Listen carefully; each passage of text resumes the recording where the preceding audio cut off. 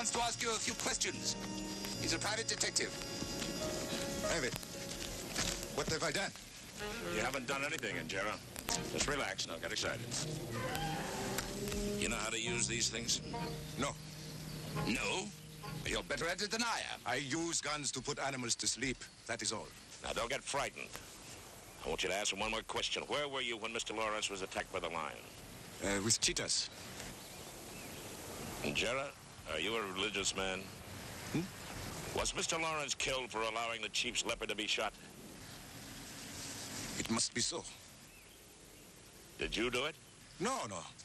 He good to me. He bring Kiku and me here. He also fired you. He not want to. He not understand. Injera, you were all alone in the enclosure. You helped the lion spirit get rid of Mr. Lawrence with a little jumping juice. I do nothing.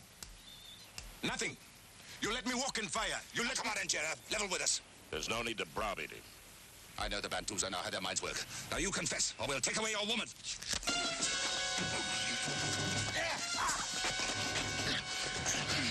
Will you stop it? You're only hurting yourself. I've got him. Put the gun down.